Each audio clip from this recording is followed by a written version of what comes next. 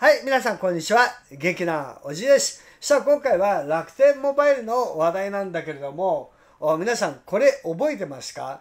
?2 年前の噂。これね、えー現実なるかもしれないよ。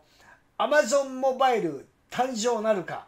ね。えーもう、あの、この2年前、もうスタートして、ちょっとしてね、もうダメだよねっていうね、なった時に、楽天モバイル撤退権利して、もう譲渡した方がいいじゃないかっていうね、あの、本当、もう、出だしから、ね、お金をかけてもダメだった思うようにいかないよね。いや、こんなんなのダメじゃん、使えないじゃんってね。で、もっとお金がかかる。ね。もう終わりでしょ。モバイル事業ダメだねってね。どんどん来た方がいいよっていうね。最初の頃のお話なんです。で、その時に、要は、まあ、楽天モバイルね、どこがじゃあ手を挙げるのかってね。まあ、時に、アマゾンね。アマゾンがやっぱり一番いいんじゃないのっていうね、その噂がね、ぼわーっとあったんだよ。で、それをじいもね、こう拾った情報なんだけど、まあ、アマゾンモバイルが誕生になるんじゃないのか。ね、で、まあ、アマゾンが楽天モバイルね、あのーまあ、引き取ってくれれば、ね、なんかメリットだらけだよね、ものすごく。要は、プライム会員になれば、ね、あのーすごく安く使えるっていうね、まあ、いろんなものがあったら実現したらいいよねっていう、まあ、お買い物にしても何にしても今の楽天市場はあんまりポイントが好きな人以外はあんまり使わないと思うんだよ。あの保証問題にしてもね発送にしてもあのやっぱアマゾンの方が便利すぎるからねすごく、まあ、そこのところでねその楽天モバイルの事業をアマゾンが吸収したらどうなるんだ手放したらねもうもうお手上げになった時どうなるんだっていうお話だったんだけど今回はなんとその楽天グループ自体がもう破産ね。でアマゾンが吸収したらどうなるのかってね、まあ、そんなお話これが意外と現実になるかもしれないみたいなそんなお話が出てます。で、えー実はね、えーこれね、まあ、2年前の情報、ね、2年前の作ったこの情報ここで結構盛り上がったんだけど興味のある方はあのここら辺とかここら辺にあるので、まあ、先見ていただけると面白いかなと思います。で、えー実はねこれ7日だから今日は今日は9日だからね、え2日ぐらい前に花火さんからもね、えーこれが飛び込んできていました。ね。えー海外で Amazon モバイルを展開予定でよ。MVNO は残念だけどプライム会なら安く使えるらしい、ね、日本も楽天を買い取って第一出身事業者に Amazon モバイルになればいいけどねっていうね、まあ、こんな情報、まあ、これ花火さんがね来る前に先でユースケさんか誰かがあのーもうこの数日前にペタッとこうなんかね貼ってくれたんだよね。初期の頃にね。ただあの海外の情報なんであのー、あとマジだねってことでね、まあ、すぐ食いつかなかった。おじはね。その情報がこれなんだよ。えーっと6月の3日の記事なんだけどアマゾン携帯業界を破壊か米プライム会に格安プラン提供の可能性ということででまあちょっと斜め読みいくね。長いからね。えーブルームバーグは2日アマゾンアマゾンが米国のプライム会員向けに格安または無料の携帯電話サービスの提供を開始することを検討していると報じた。通信大手が持つ価格決定力を弱める可能性があるということでね。で、まあ、話がまとまればプライム会員に月額10ドル約1400円という低価格の携帯プランが提供される可能性があるということでわーって今ねこれ話題になってます。でまあここら辺はねもう斜め読みでねアマゾンはプライム会向けの追加特典はすでに検討しているとしつつも現時点では携帯サービスを追加する計画はないと説明。フォーブ氏は通信大手4社にもコメントを求めているってことでね、まあ、こういう情報がねあったわけです。まあここらは興味のある人はね直接、まあ、読んでってください。ね。でまああと次はね、ゆうすけさんだね。アマゾンが楽天を買収し、アマテン爆誕、最悪シナリオを否定しきれないわけということで、まあそんなことはないでしょうってね。でもそれも否定しきれないんだよっていう、えーそんな記事がね、あるんだよということで、ね。じゃあそれを見てみましょう。アマゾンが楽天を買収しアマテン爆弾最悪シナリオを否定しきれないわけっていうのがね、えー、本日金曜日6時2分ね最新の記事で出ていますでこれも長いので斜め読みでいきますこれねえー、まず6月2日、アマゾンが携帯サービスの提供を検討していると米国で報じられました。それが今、あの花火さんの情報のね、6月3日のその情報です。で、実はこのニュース、日本にとっては、あ要警戒です。そうだったの？ってことで、だからあのバーッとニュースになってたの？っていう。でもしも日本でも携帯を始めるとしたら、その先にはアマゾンが楽天グループを買収する最悪シナリオがこれいや最悪なのあのもう国民がみんなで 願ってることなんだけど、ね、最悪シナリオが起こる可能性を否定しきれないからですってことだよね。いやあのもうウェルカムだよね本当ウェルカムだよ。で、アマゾンの携帯電話サービスの提供検討はアマテン爆誕に従りかねない。もう爆誕してくれもう今の楽天モバイルはもういいからとにかくあのアマゾンね。アマゾンの力でちゃんと使えるものにしてくれ。安く使わせてくれ、ね、でまあこれね、まあ、アメリカのブルームバーグ通信は6月2日アマゾン .com がアマゾンプライム会に向けに有料の携帯電話サービスの提供を検討していると報じましたっていうね。でまあそれはあの10ドルもしくは無料だよっていうね、まあ、斜め読みでいきます今と同じ重複するんだね。で、まあ、アマゾンは以前携帯電話サービスに参入して失敗し1年で撤退した過去があります。それを知っている方はこのニュース3秒で興味をなくしてしまったかもしれません。しかし、未来予測専門の評論家としては耳にした瞬間にピリリと電気ショックが走ったのです。ね、もうそういう人はみんなピピピってくるからね。アマゾンが携帯サービスを提供すれば成功確率は意外に高いと思ったからです。さらにこの戦略は日本が絶対に見過ごしてはいけない怖い話にもつながりかねません。具体的に言うと、アマゾンが日本進出を果たす際の足がかりとして、楽天グループが狙われる可能性をして、狙われるっていうこの表現。あの楽天としては、誰かお願いだから買って、もうそろそろ買ってっつって、そういう時期に来てるよね、絶対ね。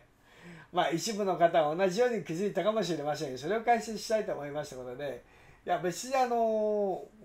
これみんなそうだって株主だってそうじゃないの？あ今のだってマイナス形状で配当が何も来ないよりもアマゾンにとっととバトン渡して配当もらった方が嬉しいでしょ？うね。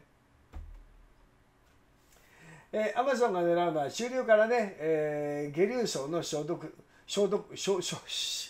消毒者じゃないよね。消費者。ね。えー、アマゾンが2014年に Fire を発売しました。これは iPhone と競合する独自のスマホだったのですが、結果としては不審で発売終止に追い込まれたのです。また同じ失敗を繰り返すとか、そう思うかもしれませんが、実は今回は違います。Amazon が提供するのは携帯電話サービスです。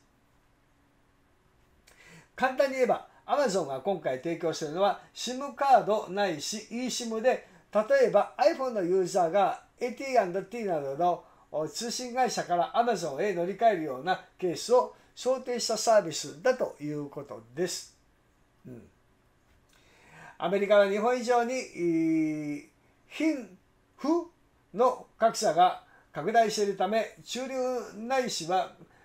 下流の下流のかこれね下流の消費者に向けたサービスは市場のボリューム増になっています。この各社拡大で例えば小売最大大手のウォルマートは一人勝ち状態で店舗の売り上げが急増しただけでなく下流層に向けた金融サービスや広告サービスで新しい収益源を獲得しています。アマゾンが狙っているのもおそらく同じ消費者を対象としたビジネス市場でしょう。これまでもアマゾンプライムがその強力な武器として使われてきました。ねまあ、おじいもね、アマゾンプライムはあの使っております。ねまあ、あの映画見れるしね。であの2000円以下でも発送ね、ただだしね。ただその、あの有料にしろっていう圧力が今来てるみたいだね。あのトラックの労働時間とかね、そういったものが、あのまた改正、ね、見直しされて、で数年後にはねあの、まあ、物流がかなりねあの弱くなる、まあ、そこであのいろんなリレー配送とかそういうのもねなんか出てるみたいなんだけどその前に、えー、これあの無料送料無料とかねこういったものをなくさせろっていうねあのそういう動きも出ておじいは過去にこの問題については言ったんだけどあの業者ね業者登録すると例えばおじいの経験だとヤマト運輸を契約するとあのご近所さんだと大体あの当時600円ぐらいだよね600円650円ぐらいで遠いところだと60歳でも北海道とか沖縄だとねあのあれでもその重さによって変わってくるじゃん箱のサイズとか。で業者登録するとその600円からもう北海道沖縄でも160サイズ超えて送っても900円なんだよ。ね、あの割引がある。ね、そういう取り組みの割引があるので私疑問に思ったんだよね。あの業者その物流流通の会社はすごい儲かるしヤフーなんかもそうじゃん。要はあの送料がねあの最低限の550円とか600円で大口とかあの酒場とか400円とか450円でねあの契約してるのにあの普通の送料だけ総取りしてねで法的に違法だからその証拠を取れば差額を請求することができるやる人がいないわけじゃん。ね、あの悪いやつが儲けるための制度になっちゃってて物流に対して問題があればちゃんとその一般消費者も会社も分けないでお金をしっかりと取るべきなんだよ。ね、それをやらないから一般消費者の分値上げ値上げ値上げで高い少量になって会社の方は割引ねでっかいの聞いたままここ自体がおかしな話なんだよ。ね、で山梨とかね長野とかそういうところっていうのはあの割引昔の時代からね割引がない、ね、あのいとこに教えてもらったんだね。だからそこで他のものも割引がない代わりにね、あのどこもみんな同じ条件なのでだからその値段のものはその値段で買いましょうってことでそういうあの割引はなしで普通にそれで流通になってるからだからどの商売の人たちもみんなそういう変な値引きはしないからあのうまく回ってるっていうね、まあ、そういう地域もあったんだけど今こういうネットの時代になっちゃったんでねえみんなまあそういう長野とか山梨で、まあ、大変になっちゃったろうねきっとね。まあ、でも本来あるべき姿この物流に関してすごい問題があるからね。やっぱりこのトラックドライバーの要は労働時間が長すぎるとか賃金が安いとかね、まあ、リレー配送にすることによってちゃんとおじいも帰れる子供の顔も見れるね。であの給料も上がったっていうね。要はあの距離距離によって奪いが決まるらしいので、え要は待ってる時間が長いんだよね。あの荷下ろしとかのね。だトラックでそのまま「よろしく」でこうパーンと渡したりとか、まあ、あの合流してんでね、まあ、いあの要はサービスエリアとかではトラックの交換。で会社の中では待ち合わせをしてであのコンテナをね入れ替えて持っていくとかね、まあ、そういうやり方の方がこう、ま、待ち時間がないから効率がいいっていうね、まあ、そういったね向けてるなんか問題があるらしいんだけども、まあ、その前にねあの値段をちゃんと値上げする前に企業からちゃんとお金を取ってそのお金を取った企業がちゃんとそのね、オークションでもなんでもその正しい金額をお客さんから請求するとかねそういうやり方にするべきなんだよ。要はね。でないとおかしなことになる。ね。まあそれはまあいいとしてね、えー、次にしてみましょう。でアメリカと日本では Amazon プライムの内容というのがね、まあ、質が全然違うということで、まあ、ここら辺はねもう走りますこれはもう走りますで日本と違うのは無料サービスの量です。日本人がよく使う少量無料はもちろんのこと、プライムビデオ、そして、えー、プライムリーディング、書籍のコンテンツは日本の10倍以上あります。すごいね。音楽の Amazon Music やゲームのプライムゲームを含めて基本的に2人サービスだけで、下流層はスマホ生活を十分に楽しむことが可能です。ね、あとは、アメリカとかあっちの方ってさ、距離があるじゃん。配送のね本当ねあの広いからねねまあ日本はね年間4000そうだねおじいもあの年間で入ってるけどアマゾンプライム年間4900円ね最初の頃はあのそんなに買い物も多くないしでビデオもね見ようと思って見ないでずっと動画ばか作っててああ何もつかなかったなもったいなかったなでねあのなんかもったいなかったけど最近はでもやっぱ生活するものとか食べるものとか大体みんなアマゾンで買い物が多くなったんでだあ昔はねプライム入る前は あのこれを送料を無料にするためにあなんかもったいないからじゃあこれとこれ買って無料にしようかとかってそういうのがあってね。で欲しいものリストにこう貯めておいて何かの時にあじゃあ安いのを抱き合わせで買うとかってまあそういう習慣があったけどもう 4900円払えばまあ Amazon ミュージックは使い物にならなくなっちゃったけどまあ、なんか映画見たいなと思った時に映画見ることがまあでも綾瀬はるかのやつがねあの無料じゃなかった。視聴者さんかもしれないけどねもう昔いたけどまあでも4900円はね、まあ、あの安いなと思います本当ねで、えー、まあ一方で中流のウェア、ね、富裕層は当然のように動画はネットフリックスに入り音楽はスポーティフィーにという形で有料サブスクが広がってるよっていうねまあお金持ってる人はあちこち有料サイトを使うってことだね。本当ね。えー、アマゾンは国別のプライム会員数を公表してませんが、報道ではこの中でアメリカのプライム会員が1億人を突破したそうです。すでに国民的に利用するインフラサービスの位置づけにあるのです。うん、まあ、アマゾンはでも本当便利だもん。だってお買い物で便利で保証もちゃんとね、まあ安心できる。他で買うよりは安心できるしね。うんそうだねであの映画も見れるし言うことないよね。ただアマゾンは会員数の頭打ちに悩んでるね、えー、ここが絡んでくるんです。まあ長いから走ります。ね。で走ります。ね。でまあ頭打ちがあるからだからこの記事書いた人は、まあ、意外とこのサービスは成功するかもしれないなと思ったよっていうことなんだね。で、ここからの理屈はまた走ります。ね。で、ここから話で未来予想。ね。えー、まあ、あのー、これもね、走っていきます。ただ、日本市場はアマゾンにとって重要な稼ぎどころ。ここはね、確かにそうだなと思うよね。うん。そうなんです。で、えー、まあ、ここら辺もこう、はしょっていきます。で、そのアマゾンですが、世界の売り上げの9割弱はたった4つの国で稼いでいます。アメリカ、ドイツ、イギリス、そして日本です。私たち日本人はアマゾンが大好きですが、日本市場はアマゾンにとっても全体の5%を占める重要な市場なのです。っていうことなんだよね。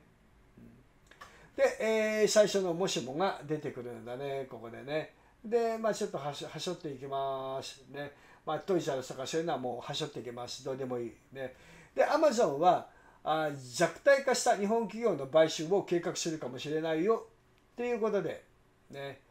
えー、まあいろいろこう発しょっていきます。ね。で、あともう一つ、日本的なアマゾンエフェクトとしては、アマゾンは弱体した企業を買収する形で拡大するのではと私は考えています。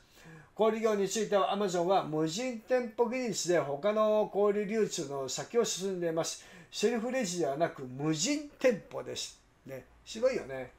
あの近づいたらピッピッピッピッってあのなるやつだよね。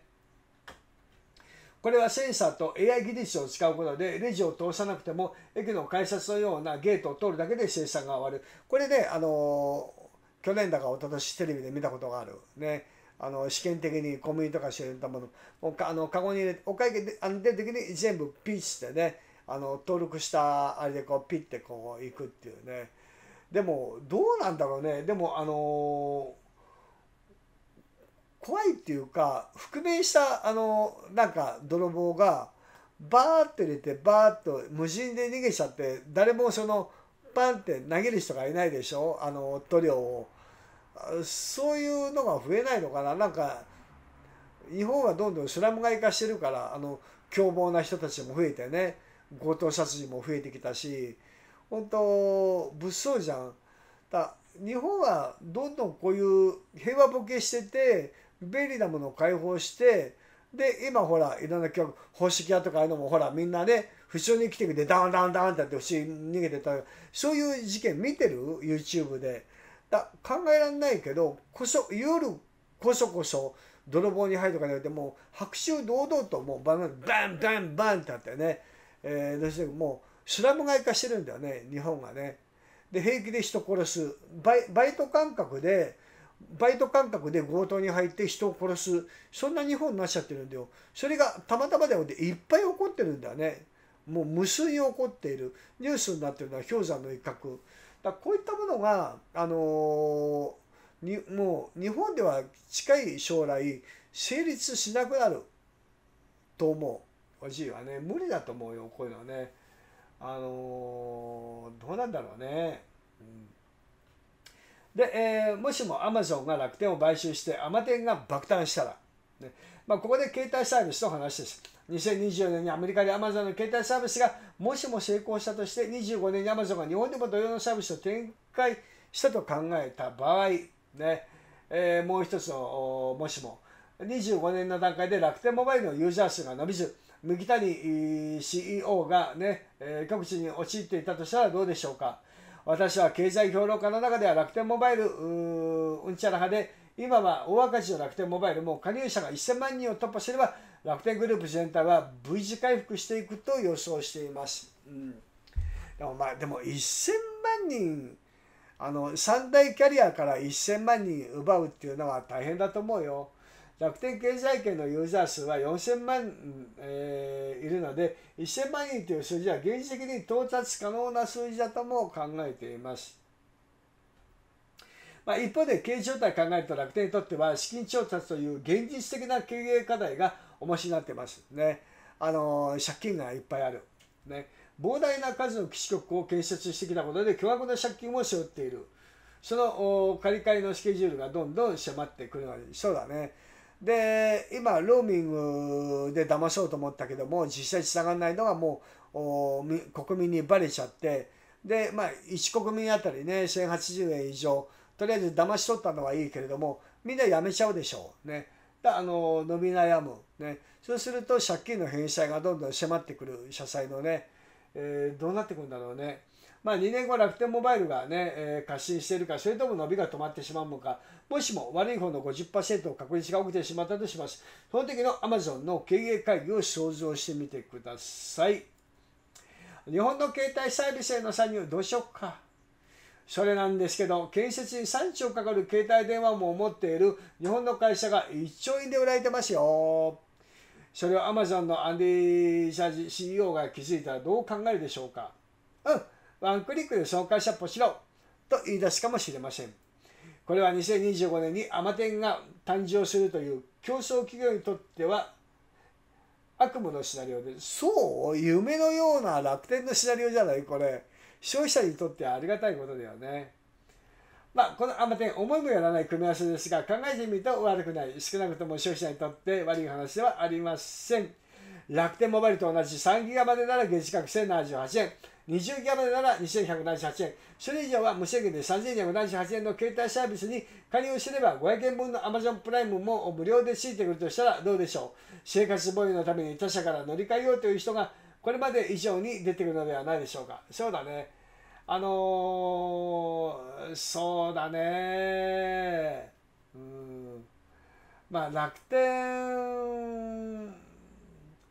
モバイルとアマゾン一緒になったらねそうだね、まあ、500円分のアマゾンプライムも無料で敷いてくれたらいやそりゃ嬉しいよね。すごくね。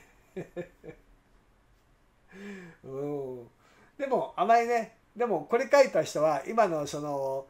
あのトラックの要は配送物流の問題に関しては頭にないからだやっぱりね頭のこういうのを考える人って偏った考え方しかしないんだよね。まあ、ムーとかの雑誌書くにはすごくいいかもしれないけど、いろんな、こう、広く、おじいみたいに広くニュースを見ていると、この数年後に、その、物流が今崩壊するんで、ね、だからあの今翌日到着とかそういったものもちょっと余裕を見なきゃならないし本当今ドライバーの労働時間と賃金が今すごいクローズアップされて物流改革が起きているので、まあ、そういうところもねちょっと考えてみないとこの値段でこれがついていけたらっていう前にそのねどうなんだろうねうんちょっと疑問はあるけどもね。えー、楽天の国内 CE 流通総額は直近1年分で5.8兆円です。アマゾンは国別売上は非公開ですが、調査によれば楽天とアマゾンは国内でほぼ互角、つまり合併で新たに10兆円小売業が誕生します。これはイオンやセブンアイと同等規模の巨大流通となります。同時に EC やクラウドの規模を考えると、国内最大のビッグデータの保有企業となり、資金規模を考えると国内最大の AI 企業の誕生になるでしょう。ウェルカムだよねえー、そうなると国内の主要産業の破壊が現実味を帯びてきます。中規模な小売流通は当然のようにアマテンの巨大販売力の下で競争力を失うでしょう。そうだね。まあ、2030年までに家電量販店が消え、ホームセンターがうんちゃらし、アパレル業界は衰退します。動画、音楽、書籍といったメディア業界もアマテンエフェクトで崩壊スピードが速まります。まあ時代の流れだからでもそれしょうがないと思うんだよ。あのー、今までもいろんなものがあったし昔ながらの小売商店がね、えー、なくなっていく、まあ、これがいいのか悪いのかねで昔のようなご近所とのコミュニケーションね地域の要はお店とのコミュニケーションとかそういったものがあったけどもあのそういった温かいものがなくなっていくね、えー、現代に向けてどうのこうのって問題視されたけども結局みんな自己中人のことはどうでもいいね。であの便利がやっぱり一番。で落ち着いたわけじゃん結局。ね。だからねこういったものはもう時代とともにその時代だからしあの成立してた商売っていうのがあるわけで新しい時代がやってくれば新しい時代の商売というものが出てくるからどんどん時代とともに切り替わっていくもんなんだよね。そこにいつまでも古いものに対してねこれがああだからこうだからって言ったらあの時代の進歩、ね、足引っ張るだけになってしまうっていうねそう思うね。おじいも若い頃は考え方が違う大切なものがあってこうね考えたけどいやしがみつくんではなくてやっぱり新しいことへのチャレンジ進む一歩していかないと世界的に見て日本っていうのは遅れてきちゃったのを見てるんであとのんびり検討したりとかねだなんで今の日本がこのアジアで最下位になって世界でももうものすごく遅れていっちゃったのかね。もう開発する力がないものを作る能力がなくなっちゃった、ね、どうしてこうなってしまったんだろう。ね、まあ、こう考えてみるとねあの日本が何どこのとこにしがみついて遅れてしまったのかっていうのが見えてくるんじゃないかなと思います。まあ、おじいはねやっぱずっと半世紀以上この日本の流れをずっと見てきて、うん、やっぱそうだったな、ね、昔はねその日本には日本のとかねその地域のとかもうこういったものも大切だ反対とかで、うん、そうだそうだって思ったけどやっぱ時代を生き抜いてきて振り返ってみると、うん、やっぱり足手まといだよね。こう転換主義っていうのがねすでにやっぱその時代時代にあるわけだからね、えー、そう切り替えないとダメだよねって思うよね、うん。まあ、おじいはねそう思ったね。はいということで、えー、アマテンの資源というのは日本経済にとっては用意したんだろう。いやおじいは思うよ。あのもうどんどん日本国民はもう時間を大切にそして要は効率高効率を目指した時代にもう突入しているので、えー、もうこの利害関係とかそういったものは関係ないと思うよ。ね、新しく誕生した新しいその中にそこに要は外れていったものがそこにくら替えして入っていけばいいだけのお話なんだよ。古いものにしがみつく必要はない。ね、だから崩壊するとこも当然出てくるか崩壊したところを変えていけばいい。だからいろんな農業にしても何にしてもあのいろいろブツブツブツ言われたけど今の新しい若者たちが新しいやり方でであのいろんなお米にしてもスイカにしても何しても品種改良していいものを価値観を出して高いけどもでも売れ売れて注文がねもう止まらないっていう。だそういうこう新しい時代に向けてやっていかないといつまでも古いものを引っ張ってやってたってもう世界取り残しちゃうだけだからね。あのダメなんだよ。本当。ね。そういうあの方に追い追い追い込んで次のステップに考える能力を持たせないと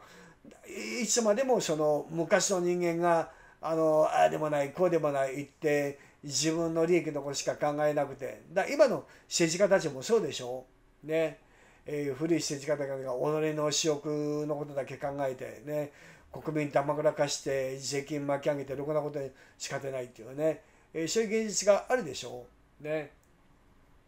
だね。あのおじはどんどんおもう時代についていかないと世界に取り残されてもう今そういう状態に孤立しちゃってるわけだからあもう逆転チャンスはなくなっちゃうと思うね。本当ね。うん。ね。えー、あまり楽天の携帯事業をいじめないで早いうちプラチナバンドを開放してあげたらどうですか？プラチナバンドを開放したとしてじゃあ開放したらじゃあ使えるようになるのでしょうか？使えるためにはどうするの？全国の基地局これをプラチナバンドで使えるようにしたけないその能力がないわけでしょ無理なんだよだから早くアマゾンに事業を渡してアマゾンの資本力でバーッと一気にプラチナ会社に使えるようにしてくれた方が国民の利益になるってことだよ。ね、なんでそれがわからないんだろうっておじは思うけどもね。うん、はい、そんなわけで、えー、まあ、この時にもそうなんだけど、火のないところに煙は立たないということなんです。ねえー、その中で、まあ、2年前の噂はね、アマゾンモバイル誕生なのかどころか、この時はあのモバイル事業だけだったけども、もう楽天グループ自体がもうお手上げでね、あの甘手になっちゃうというそこまでお話が大きくなってます。ね、まあ遅からず遠からず将来振り返ってみるとああどうなるんだろう言ってた時代があったねなんて言いながらねあの甘天でああ今日甘天セールやってるよって言いながらねおじいもね今日からアマテンセール始まったよいや今回はこのプロジェクターが安いねいやこのアマテンセール中にねってこう言いながらなんか動画作ってかもしんないね。はい、そんなわけで、えー、お話はここで終わりです。暇つぶしになった方は、グッドボタン押しててちょうだい。またね、バイバイ。